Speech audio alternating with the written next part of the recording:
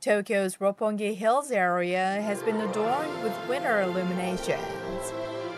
A lighting ceremony took place for the first time in three years. The event was canceled and illuminations were scaled down the past two years due to the coronavirus.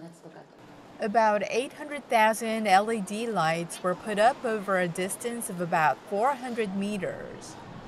The illuminations at Roppongi Hills will continue until December 25th.